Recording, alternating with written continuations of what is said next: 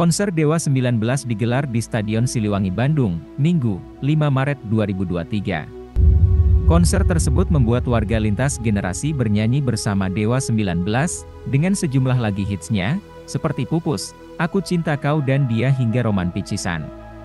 Ada yang menarik pada sajian konser Dewa 19 di Bandung tersebut.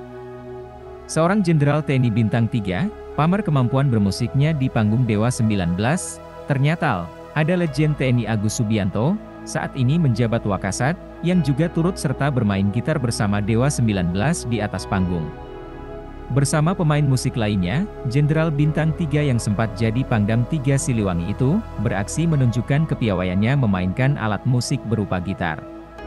Saat bermain gitar, foto yang diberikan oleh Dispenat yang diterima Tribun Jabar, Legend TNI Agus Subianto menggunakan gitar listrik berwarna hijau dan menggunakan kostum kasual. Foto yang diterima Tribun Jabar dari Dispenat, Wakasat tersebut bermain gitar bersama gitaris legendaris Dewa 19, Andra, selain memainkan alat musik. Wakasat pun memanfaatkan momen acara tersebut untuk lebih dekat lagi dengan masyarakat. Seolah tanpa ada batas, jenderal berbintang ini berbaur dengan penonton lainnya dan ikut duduk di atas rumput.